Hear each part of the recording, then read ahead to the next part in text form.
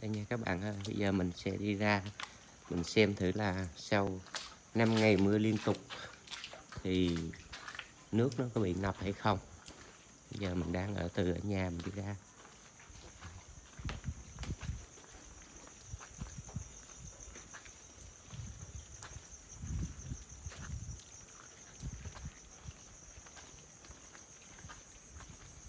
Qua chỗ góc đường này nó có một cái bóng đèn cho nên khá là sáng còn đa số thì những cái đoạn mà cái cây nhiều thì nó trời nó tối lắm.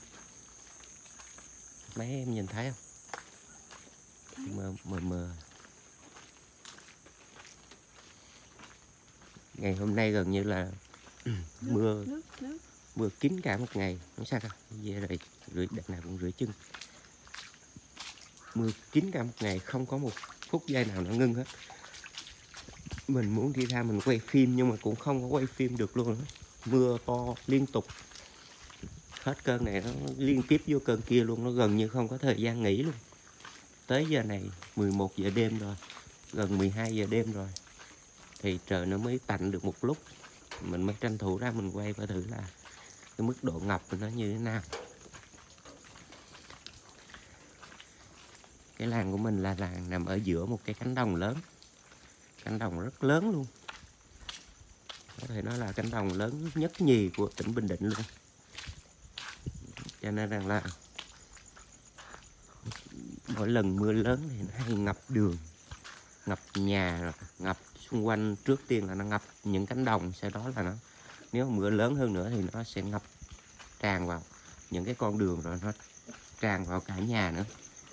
Mình nhớ những cái năm có lũ lụt lớn, ví dụ như là năm ờ, 99 năm 2009 đó, năm 1991 năm 1992 thì mình nhớ là lụt nó vô tới nhà mình mà lục lụt qua chảy qua chảy, nước nó chảy qua cả cái cửa sổ. Nhưng mà về sau này thì càng về sau này thì cái hệ thống thi lợi người ta phát triển tốt kênh mương nó nó điều tiết nước tốt cho nên mưa lớn thì nó đỡ ngập chứ nếu mà những năm trước đây mà mưa mà như mấy ngày hôm nay thì có lẽ là nước vô tới nhà rồi. Ngoài ra thì ở vùng ở vùng mình thì có một số cái hồ chứa nước, ví dụ như là hồ chứa nước Thuận Ninh hay là hồ chứa nước Văn Phong, đập Văn Phong á. Thì khi mà tới mùa mưa thì những cái chỗ đó nó sẽ chứa bớt nước cho tới lúc mà đầy hồ thì người ta mới bắt đầu điều tiết nước xả chậm chậm chậm chậm xuống. Giờ này rất trễ nhưng mà vẫn có người đi xe ở ngoài đường. Thường là giờ này ít ít có người đi xe ngoài đường. Rồi. Trời tối lắm chắc có lẽ nhìn vô máy quay khó thấy. Đây. Đây đây là cánh đồng giáp ranh với cái làng của mình. Nước đã liếm vô cái cái cái đường làng rồi. Sắp tràn lên đường làng rồi. nước. Rồi ngập hết rồi. Những cái những cái bãi rau muống nó nó nổi theo mặt nước thì nó mới nổi lên được. Còn như nữa thì tất cả đều đã nhấn nhấn chìm trong nước. Đấy. nước ơi là nước. Bị gì này không thấy gì hết. Nè em quay vô chỗ cái cái, cái bóng đèn á. Cái khung ảnh của cái máy đó nó lớn. Ừ. nước chảy rất mạnh đi mình đi tới đoạn kia để mình thấy. Trời khá lạnh nữa nha. Có tới đây trời lạnh thiệt. Vợ mình đi theo mình mà cứ kêu là cứ kêu là lạnh. Tại vì vợ mình cũng ở ở chỗ khác tới cho nên là chưa có quen cái khí hậu thời tiết ở đây. Trời ơi nước chảy mà nghe tiếng ào ào luôn. Wow cái mương này lụt rồi. Nè nước nó tràn qua ruộng rồi nè em nó tràn qua cái bờ này nè. Chuẩn bị mai nó vô tới nhà mình. Là đỡ rồi nó tràn qua đây nha em chứ nó, nó nếu mà nó không tràn qua được là nó bứt ra luôn. Đây mình đang đứng trên một cây cầu. Nước chảy rất xiết luôn. Các bạn xem nè. Nước chảy xiết vô cùng xiết luôn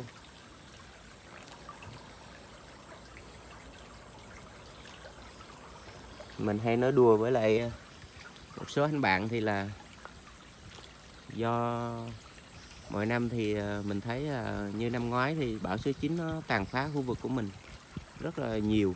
Thì mình thấy có có hỗ trợ, cứu trợ rồi. Còn năm nay thì không có bão nhưng mà lại có lũ, nước ngập rất là cao nhưng mà mình không có thấy, chưa nghe nói là cứu trợ bão lụt gì hết. Nước ngập nè, các bạn này nước sắp vào cái nhà này rồi nè em nè. đấy. Đây các bạn đây có một ngôi nhà và nước đã liếm vô sát chân nhà rồi. Khả năng lụt là rất cao. Nếu mà ngày, theo dự báo thời tiết thì ngày mai là ngày 15 mưa thêm một ngày nữa. Và ngày 16 nữa cá kìa em cá kìa. Ui ui, cá kìa. Thấy không? Thấy ngay cái đèn anh soi đi quay cá. Các bạn ơi cá nó theo nước nó lên khá là, dạng dĩ, nó bò lên sát trên bờ luôn các bạn. Nè, các bạn xem con đường này, nước đã ngập. Ngập hết rồi, ngập hết con đường rồi. Đấy. Và ngập vô cả cổng nhà. Ngập vô cả cổng nhà. Ngập hết rồi. Nhà này là coi như là nếu mà đêm nay mà tiếp tục mưa nữa là nhà này có khả năng là nước ngập vô tới tới nhà đó. Đây, các bạn xem nè. Nước chảy rất mạnh. Em đừng đi tới chỗ nước đấy để anh tới. Đây các bạn xem nè. Nước chảy nè các bạn thấy chưa? Nước nó, nó tràn qua cả cái bờ bờ mấy cái bờ dùng bờ thửa. Nước nó tràn qua nó chảy ào ào róc rách luôn. Rất mạnh. Bây giờ nước đã dâng lên khá cao rồi đó em ơi. Không biết. Nếu mà mưa thêm một ngày mai nữa là có khả năng là ngập. Ngập nước sẽ sẽ vô tới làng. Những căn nhà ở phía đầu làng này là nước đã ngập rồi coi như là ngập hết sân rồi chỉ còn thiếu là nước chưa vô nhà thôi. Để em em em.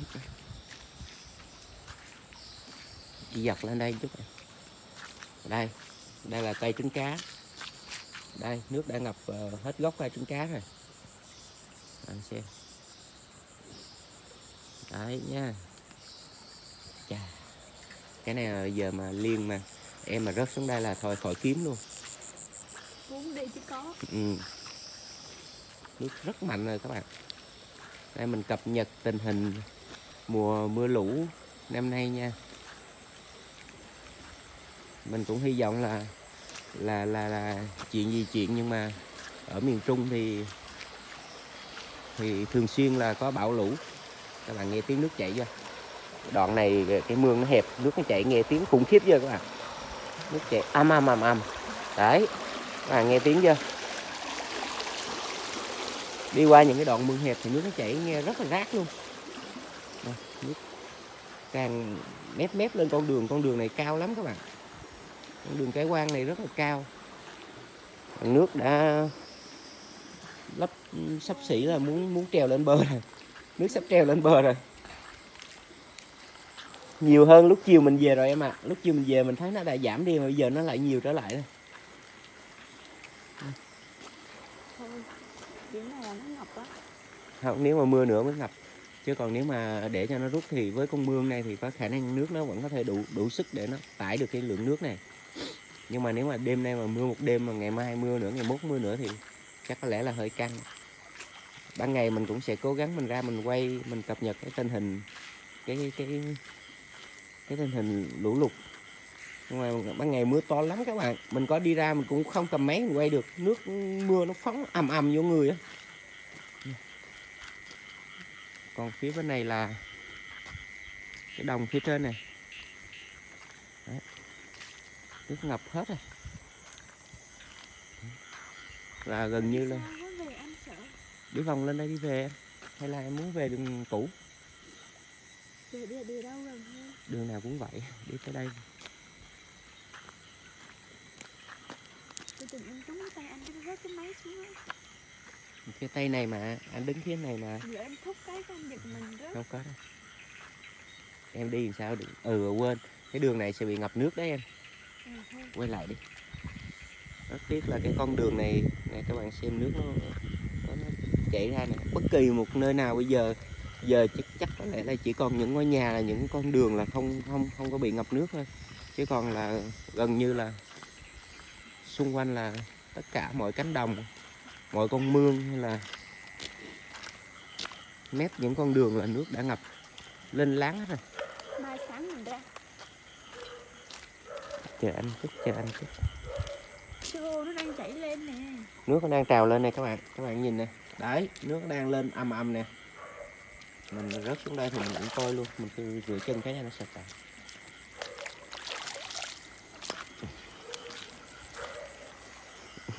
còn còn con nấm này thì, con nấm này thì nghe nói là mình đi ra thăm nước thì cũng, mình cũng rủ theo thì có vẻ như là không hứng thú lắm với mùa mưa thì phải.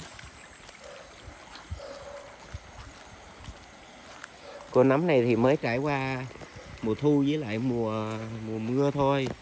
Chứ con nấm này chưa trải qua hết mùa mưa. Con nấm này chưa trải qua cái mùa lạnh và mùa hè ở quê mình tới tháng 11 âm lịch nha các bạn nha, là tháng 12 dương lịch á. Là nếu mà ai ở quê mình á, là lạnh phải biết luôn. Lạnh không thua gì Hà Nội nha. Lạnh khủng khiếp lắm. Có những năm lạnh, trời con chuột to con chuột to. Ôi trời ơi, con chuột nó ra nó bắt cá thôi ơi. Các bạn, vừa rồi có con chuột nó vừa chạy ấy, con chuột nó ra nó đứng nó bắt cá các bạn ơi. Hay quá luôn. Đấy cập nhật tình hình mưa nha. Ở đây là ở cánh đồng cánh đồng phía trước làng ấy. Còn cánh đồng phía sau làng thì nó ngập nhiều quá mình không lội ra được. Cái đường con đường đó nó ngập hết rồi mình không lội ra được. Mình chỉ quay ờ, ở đây để cập nhật cho những ai mà đang ở xa làng Mỹ Đức á, thì biết. Đấy. Năm nào cũng như năm nào. Cứ ờ, đến hẹn lại lên tháng 9 tháng 10 thì bão xong rồi tới mùa mưa. Mùa bão xong là tới mùa mưa mưa là sẽ ngập lụt. Ngập lụt xong rồi là sẽ tới mùa lạnh. Nhưng mà sau cái mùa ngập lụt này á, thì tới mùa lạnh thì thì ờ, người ta bắt đầu gieo xạ. Người ta bắt đầu gieo xạ. Lúc đó có lúa thì cánh đồng nó sẽ xanh hơn. Chứ bây giờ nhìn cánh đồng gớm lắm. Các bạn quay xa thì có thể là mọi người không có nhìn thấy. Mới quay gần mọi người thấy. Nước đã lấp liếm lên con đường rồi. Trời à, ngưng mưa được một tiếng đồng hồ chị em nha Không chưa đâu. Mới ngưng luôn. Mới ngưng được một lúc. Mưa có lẽ là chắc là hơn một tuần nay rồi. Mình không nhìn thấy mặt trời nó ra sao luôn. Ngày nào cũng mưa. Những ngày đầu thì nó mây đen nó phủ kín rồi nó mưa rã rít. Nhưng mà cái đợt mưa này là hình như là đợt mưa thứ hai thứ ba gì rồi đúng không em? Một đợt mưa thứ ba rồi. Đợt mưa lớn thứ ba rồi à, hai đợt đầu nó mưa nhưng mà nó không có lớn như đợt này. Hai đợt đầu nó chỉ mưa trong 5 ngày thôi. Thì à, là nó hết mưa. Nhưng mà đợt này thì mưa khá lớn. Ừ. đợt này mưa liên tục hơn một tuần nay rồi. Và khoảng chừng 5 ngày gần đây thì mưa rất to. 5 ngày gần đây mưa rất lớn luôn. Ngày nào cũng mưa xì xà xì sụp hết. Mình đầu tư một đống hoa, chậu, đủ thể loại hết mình trồng. Nhưng mà tình hình mưa lớn như thế này chắc có lẽ nó úng, nó chết hết rồi. Mình cũng không thể nào, không có cách nào để cứu nó. Tại vì là mình trồng là trồng ở ngoài vườn, cho nên là không có ờ, làm nhà kính hay là không có làm mái che gì hết. Có lẽ là nó sẽ chỉ nước mưa liên tục như thế này mình làm thì mình vẫn lót trấu, lót cát ở bên dưới. Nước đáng lẽ ra là bình thường, thì nước có thể rút được. Nhưng mà mưa như thế này gần như là nước trên trời đổ xuống liên tục. Cho nên là không không có cơ hội để mà cho cái chậu nó thoát nước.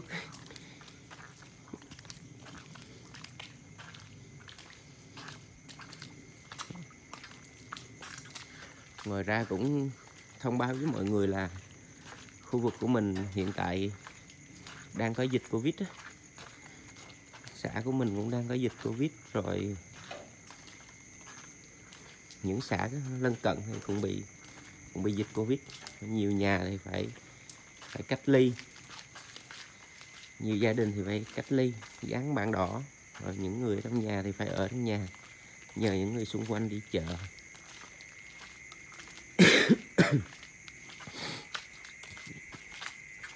Cùng thời điểm dịch nó bùng lên và và lụt, lũ lụt, mưa lớn nó kéo tới. Thấy, tự nhiên ngôi làng tự nhiên nó buồn hẳn. Xung quanh gần như cả ngày thấy ngoài đường vắng tanh, chẳng thấy ai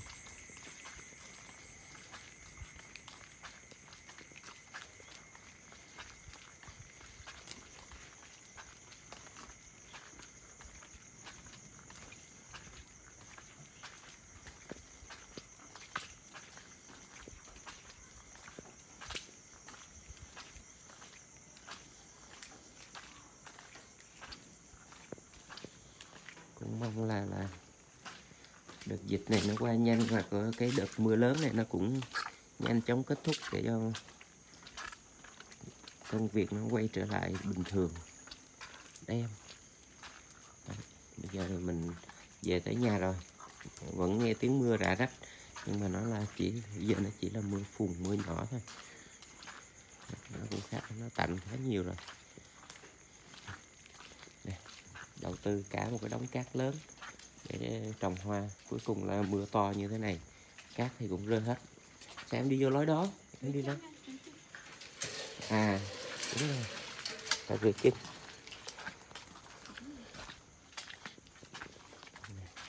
hoa này Đó, dập nát hết rồi. Nước ngập đầy chậu luôn. Thoát không kịp. Nước vẫn còn rất nhiều các bạn. Nước mình làm, mình lót cát rồi này kia khá nhiều, mình lót ờ, cát lót này kia khá nhiều ốc trấu rồi này kia khá nhiều, mà nước vẫn còn nhiều lắm. Gần như là không rút kịp và và cây giống của mình thì nó cũng đã, gần như là tan nát hết rồi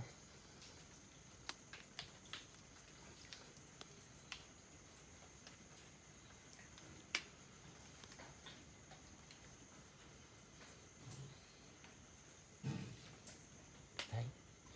Bạn xem nước như thế này thì còn cây gì mà chịu nổi nữa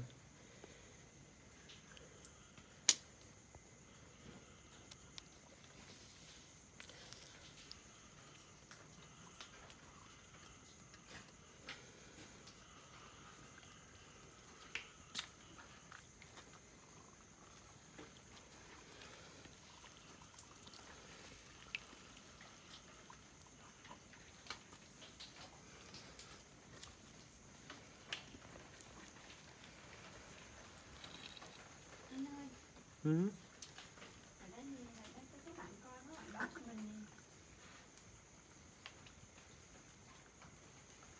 để nó ngủ đi em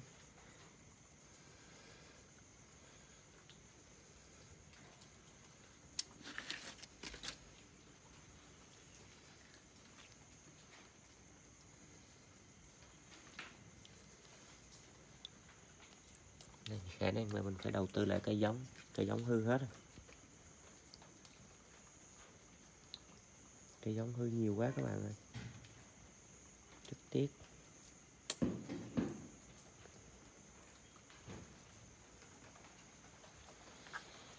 Hmm.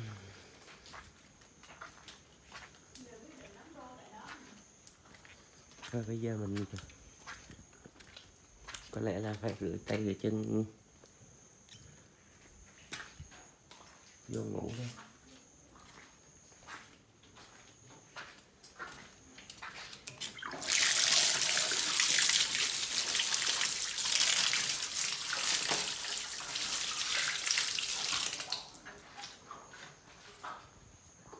chào tất cả các bạn nha. Ngày mai nếu mà trời nó ngưng mưa lớn thì mình sẽ ra tiếp tục mình cập nhật.